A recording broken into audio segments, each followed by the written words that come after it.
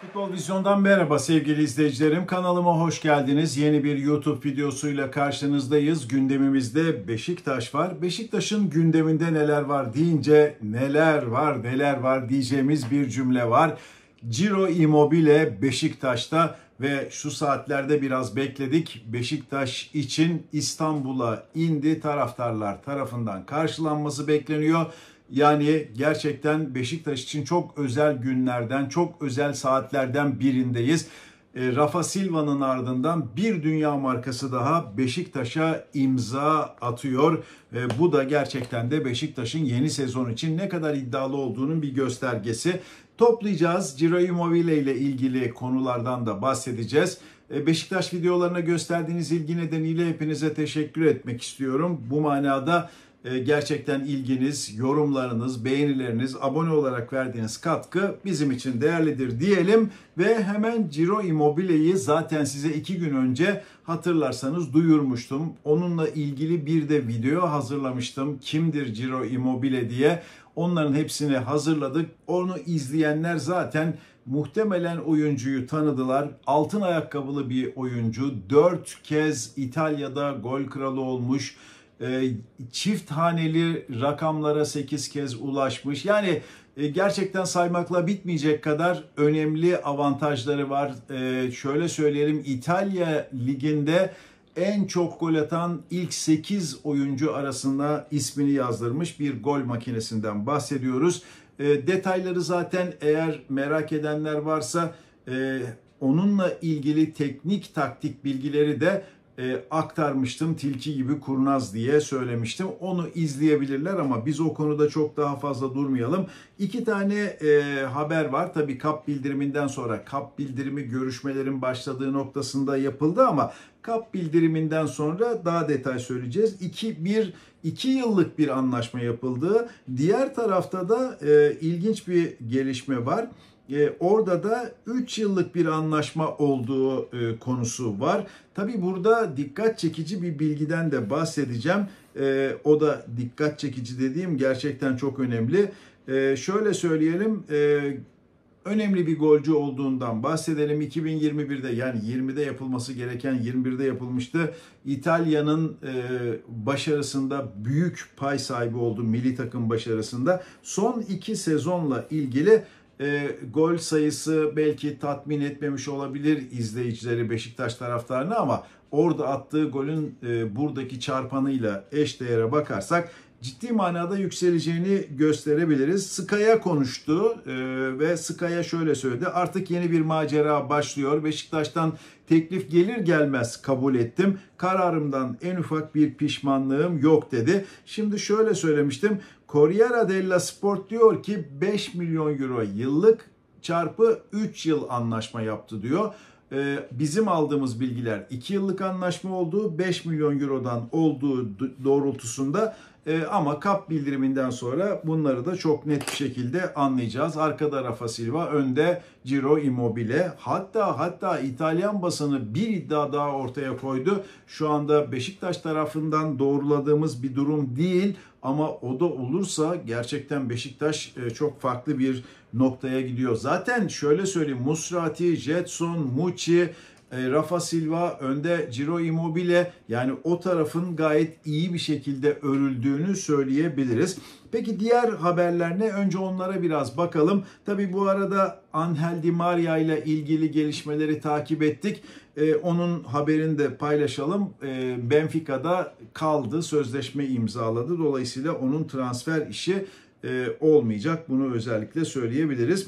Bir başka önemli nokta daha var. Kamptan bir iki tane bilgi verelim. Cumartesi günü Beşiktaş Dinamo Zagreb'le oynayacak e, ve maç saat 18.30'da başlayacak. O maçı da seyredeceğiz. Yani o maçı da izlemek bizim için farklı bir noktaya getirdi bizi diyebiliriz. Ee, Semih Kılıçsoy ile ilgili bir haber var. Aston Villa'nın Semih Kılıçsoy'a 18 milyon euroluk resmi bir teklifte bulunduğu, artık teklifin resmi olarak geldiği ama e, Beşiktaş'ın bu teklife sıcak bakmadığını söylememiz gerekiyor. E, tabii ki kati olarak red demediler ama sıcak bakmadıklarını söyleyelim. Bir iki tane de haber var. Aytuğ Batur Kömeç e, profesyonel sözleşme imzalamıştı. E, Belgrad, Sırbistan'ın IMT Belgrad takımına satın alma opsiyonuyla kiralandı bir stoper. E, tabii beklentiler herhalde e, belki de içine bazı sözleşmeler yazılıyor ilk satış hakkı, ilk alma hakkı falan gibi onları bilemiyoruz. Belki de Beşiktaş onu koymuştur. E, Gabriel Paulista e, Beşiktaş'la ilgili sözleri benim en dikkat çekti, çeken sözü olarak notumu almışım. E, bu büyüklük anlatılmaz diyor Beşiktaş'la ilgili Gabriel Paulista. Şimdi onun yanına da bir sol stoper arayışı devam ediyor. Ondan da bahsedeceğiz. Ee, şöyle söyleyelim, Davi Klaasen biliyorsunuz e, Beşiktaş'ın gündemindeki oyunculardan biriydi. Van Bronckhorst onu çok fazla istemişti ama Davi Klaasen'le ilgili e, noktayı e, koyamıyor. Çünkü Beşiktaş'ın teklifine yanaşmadı. Parma'nın e, teklifini e, daha fazla e, öne aldı. Hatta Lazio'nun da istediğini söyleyelim ama şunu da özellikle vurgulayalım. Beşiktaş'ın artık bu e, transfer operasyonundan sonra Davi Klaasen'e ihtiyacı var mı derseniz ben orada da e, hayır tarafındayım onu söyleyeyim ama belki sizler Beşiktaş taraftarları farklı düşünüyor olabilirsiniz. Ve Tutto Sport diyor ki yani gerçekten çok enteresan bir haber. Arkadiusz Milike'de Beşiktaş transfer teklif ediyor diyor. 36 maçta 8 gol 1 asisti var Juventuslu oyuncunun 30 yaşında. Hani Ciro Immobile'nin yanına bir de arka düşmelik olursa yani çok çok fazla olur. 2026'ya kadar sözleşmesi var oyuncunun ve tabii ki e, satın alınması da e, Juventus'un çok fazla istememesi nedeniyle Beşiktaş tarafından daha kolay olacaktır diyebiliriz. Beşiktaş böyle çok güzel haberleri arka arkaya alırken Beşiktaş taraftarının canını sıkan haber de Cenk Tosun'dan geldi. E, ve tabii ki çok büyük bir tepki gösterildi. Oyuncu e, bu konuda neler söyler bilmiyoruz. Yani acaba yönetimin e, teklifi neydi, neden kabul etmedi bunları da bilmek lazım. Yani tek taraflı infaz olmaması lazım ama e, şunu söylüyor Beşiktaş taraftarları e, camiası e, kalmadı artık diyor. Camiasız bir oyuncu oldu kendisi kendisi bilir demiş Beşiktaş taraftarı. Biraz öfkeli çok net bir şekilde. E, ama e, Tosun Paşa hani çok da fazla ayrılmaya sıcak bakmadı. E, önceki yönetim döneminden bir 1 milyon euro anlaşması 750 bine tekabül etti. E, döviz dalgalanmasından dolayı yeni yönetim pek fazla istekli davranmadı e, sözleşme yapma konusunda. Mesela Salih'le de aynı durum söz konusuydu. Ama bu arada tabii yönetimi de suçlamak istiyorum, istemiyorum. Yönetim de belki verdiği paralardan e, Cenk'i tatmin edemedi. Sonuçta Cenk Tosun olayı bitti. Şimdi gelelim e, şimdi beklenen şu bir stoper. Felix Udokai 1.93 boyunda bir sol stoper. Tam da Beşiktaş'ın aradığı tip bir stoper. Burada tartışma konusu şu. Ya biz çok daha e, gördeli oyunculara gittik. Hummels'e gittik. E, arkasından Hermoso'ya gittik. Şimdi Udokai'yi tam da bunun karşılığı mı e, diyenler çoğunlukta. Tabii onlar da kendileri açısından haklı olabilirler. Ama önemli olan stoperlerde iki stoperin birbirini tamamlama özelliği. Augsburglu oyuncunun e, İstanbul'u da gezdiğini e, biliyoruz. Dolayısıyla yani transferin olma olasılığını yüksek görüyorum. Ama şu şunu da yapıyor olabilir Beşiktaş. Hani böylesine önemli oyuncular alırken yanlarına bir de çok çok iyi bir stoper koyabiliriz düşüncesinde olabilirler.